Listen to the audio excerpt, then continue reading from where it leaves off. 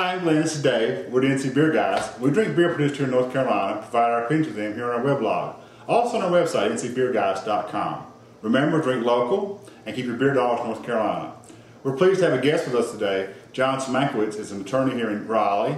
He's also uh, previously a chemical engineer by training, and he's a home brewer. And we've enjoyed our past conversation with him about uh, beer and home brewing, and we asked him to sit in with us today. And we're glad to have you, John. Yep, glad to be here. Hey, all.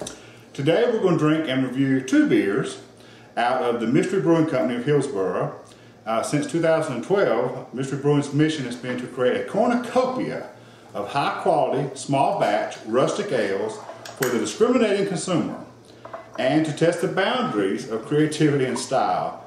The founder, CEO, and head brewer is Erik Lars Myers, author of the book North Carolina Craft Beers and Breweries. Be sure to visit with Eric and the folks out in Mystery when you're next in Hillsborough and the new Public House tap room is at 230 South Nash Street in Hillsborough. Mystery is a seasonal only brewery and proud of it. They don't have flagship beer and don't want flagships. No. They, they believe, quote, that what people like to drink changes depending on the time of the year, the type of foods they are available in the local markets, the weather, and even their moods, end quote. Because of that, they strive to provide a seasonal selection that's always fresh and reflects what they think drinkers will be looking for at each time of the year. So, our first up today is the Papa Bois. If you don't know it, go search that. That's uh, B O I S, Papa B O I S. It's a Caribbean tradition, and this beer we're drinking is a citrus foreign extra stout, part of Mystery's summer lineup. And Mystery says of this beer, the Caribbean has a long tradition of sweet, fruity stouts that are delicious and refreshing hot weather. While continuing that tradition, we've upped the ante on refreshing by adding lemongrass and fresh lemon zest. So first we're going to drink the Papa Bois. So we're drinking a stout in the summer, A stout in the summer, but it's citrusy. Well, and, and, and don't go too far along those lines because, as, as Glenn said and Mystery said, foreign extra stouts have been around for a long time. And, you know, Guinness, Murphy's, a lot of the traditional stout makers actually make a specific stout just to send to tropical climates Okay. to be fresh and refreshing. So even though it's dark, it can still be a nice summer beer. Okay, well, true. well, true. well, let's see. We'll find that out, won't we? He got a great pour. He got the I good got the best pour on that. Um, a little malt, Yeah, it's still very stouty in the aroma. Stouty. Yeah, I mean, it's just, it smells like a stout. It looks a little stouty too. Yeah, oh, yeah, yeah, yeah, yeah. This is really. I mean, it's very, very But I'm not thick. Can't see through it. It's a it's a stout. I, right? what I meant by it, but I don't get the It's- lemongrass summery. I don't get that in the aroma. It's No. it's very stouty. Um, it definitely the, the aroma does have some like graham cracker crust, some like roasty kind of notes Yeah, that you would the expect in a stout. okay. Right. All right. Yep. You would expect that in a stout. Now the flavor is totally different than the looks. In fact, that's yes. you do. It's uh, the, the, the Deception. because the the the. Uh, A mystery, as it were. That's good. so we're going to invite him back more. He's very creative on camera. We like this. Uh, the the uh, the zestiness and the citrus does come through. Even the darkness of the stout is still there, but th- that comes through very very nicely. I think. Yeah. It, it there there is some of that like citrus that kind of cuts through what you would normally see as a sweet. It, it's it's very different, but the analogy in my mind is like if you can think of a, um, a tart like blackberry cobbler with ice cream. It's that sweet and creamy with a little tart that balances and cuts cuts through that that thickness. Yeah. I mean, you you look at it. You, I mean, normally for the summer, the first thing you think about with beers is going to be the golden the golden beers, lagers, and such. And now you got a dark beer, which is a stout, and you taste it, and it's your mind is in a conflict. Mm. You know, I mean, mm-hmm. basically, it's like I'm th- I'm seeing dark, but you're drinking it. I, I'd say you're drinking light because it's got such a it's it cleans up well. It's got such a lighter flavor. Not lighter meaning body wise, lighter meaning that it you it's not a rich flavor that is going to bring you down and think of October. It's just not heavy, Right, In, in its in its appeal. It, it actually Oh, is the lemon kind of still kind of heavy. It's a heavy beer. but it's a lot going on here still. Yeah. There's a lot going on, but it, it, it's a full bodied beer, but it doesn't coat your mouth. Right. It's not like I put it mm-hmm. down and I'm still tasting stout and a- you know a half hour later. It, it, it's pretty clean in that respect, and maybe a little bit of that kind of again coffee roasty in the aftertaste, Right. But really easy to drink. I love the lemongrass on it. All right, we got two to do in one take. So um, let's rate this one. I'm thinking uh, for me, it's probably a bomber. Yep. I'm going bomber. What do you think, John? Bomber as well. That's Three. easy to drink. Three Yeah. bombers for the Papa Bois out of Mystery. Yep. And we're going to cleanse our palate and move on to our second beer of the day. I'm gonna get that one back, right? now, off camera, we do a lot more Off camera, drinking than we do sorry. on camera. Yeah. So we're going to cleanse our palate between the stout and the Berliner Weiss. Our second beer from Mystery today is the Wanderer Moon. Yeah, they didn't tell me that this was double duty when they invited me. The Wanderer Moon is a Berliner Weiss, as I said, it's part of the Mystery Novella series. Mystery says, quote, they found their own way to put a twist on the traditional Berliner Weiss.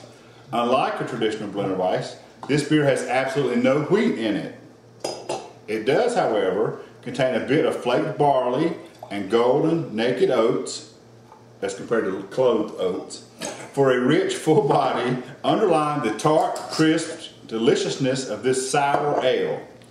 They use their house saison yeast to ferment the beer, lending a tropical fruitiness, creating a twist, twist, a thirst quenching beer with notes of rhubarb and mango that you mm-hmm. will unlikely find anywhere else. No. So again, it seems like there's a lot going on here. We've got a Berliner Weiss with no wheat, with some oats, barley, rhubarb, mango, and a sour ale and a saison yeast. It's kind of Yeah, I got my mind's blown already. I can hardly imagine what it's going to be like. Well, it's almost the other end of the spectrum from the stout Yes. we just tried. So you know that's that'll make an interesting contrast. but the color is beautiful. It is? It's so appealing.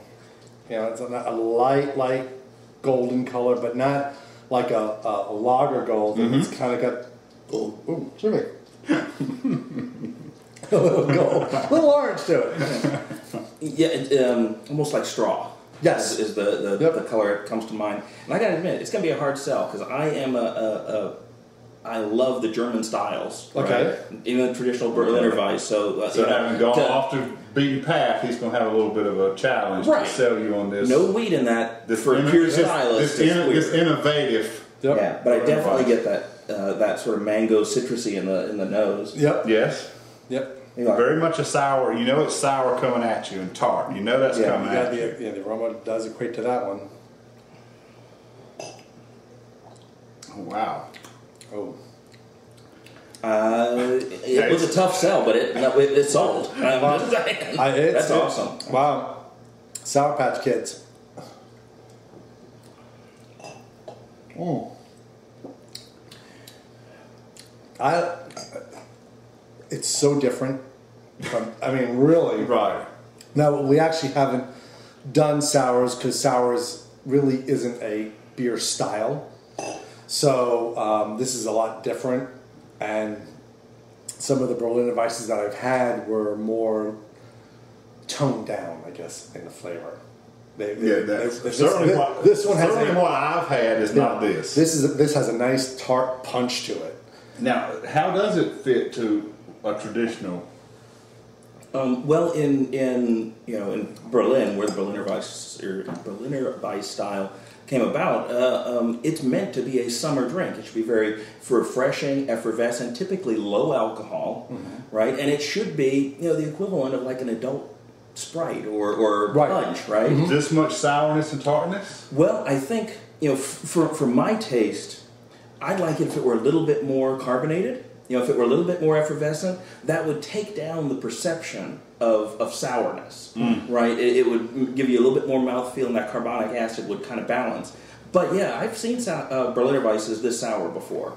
Um, and, and for that reason, over in uh, Germany, uh, they actually serve it with a syrup, right? Either a Woodruff or a raspberry style syrup That's the red or green. Right. Okay, right. to cut that sourness to make it a little bit more um, palatable. You can drink two or three of these without any problem. And you actually put the syrup when you order it. You ask for a shot of or like a Right. topping. They just put a Actually, you add it tableside to your taste. okay. Um, but I gotta tell you, with the, the citrus and mango notes on this, Yeah. it does a nice job of balancing some of that tartness and that sourness, um, even without that kind of syrupy. It it is tart, don't get me wrong. I, I think for me, the, I'd rather have it not as effervescent because the way the tart is, um, this for if it was you know basically meant for the summer, it's easier drinking when you add more effervescence and more prickly mouthfeel. Mm. Then it's harder to go down. You're mm. kind of regulating yourself because you got so much going on in your mouth. Mm-hmm. Where this, the tartness just quenches your thirst.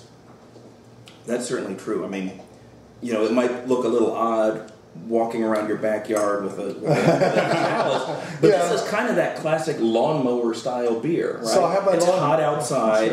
I want to be refreshed. Don't right? go in your yard. Come on. drinking like this. Do not go. in Come your on, yard please serve me this. my this after my lawnmower. yeah. So I walk around the lawnmower like this. Um, Ratings, gentlemen. I think for me, this is probably just a bottle because it's not my style at all. Uh, it's, it would be. I like it. I think it's it's what he said it was going to be. I would give him credit for that. Um, I'm not going to settle in and drink a lot of this. What do you guys think? I'm giving this. You're going to growl. I'm gonna growl only because it was it caught me off guard so much, and the flavor and just that the the drinkability and I it, it just I just the way the way it, it was so different, Mm-hmm. and it did what he said it was going to do in a very good way. Yeah, I mean, I'm gonna probably go right in the middle of y'all. I'm gonna go See, the um, first beer we're all just alike, and the second beer we're all over the board. Right. Well, and you know, I'm thinking in terms of you know, it's hot out today. If you were grilling over the backyard or sitting by the pool, you'd easily go through a growler of this stuff. Mm-hmm. You know, with your friends or whatever. Right. If you're just sitting around in the shade, maybe only a bottle or 2 mm-hmm. So I'm going to go with bomber on this. Good. So we're all over the place, and that's good. Everybody's palate's what everybody's palate is. Yep, that's right. Um, the guys at Mystery, Erik and Chris, would love to know what you think of their beers. So make the effort to get out to Hillsborough and try their beers. And they've got uh, always got something interesting going on in Mystery. Hit up the public house. The Public House on Nash Street in Hillsborough. Yep. And remember, until next time, uh, drink local, keep your beer dogs North Carolina, and we'll catch you later, guys.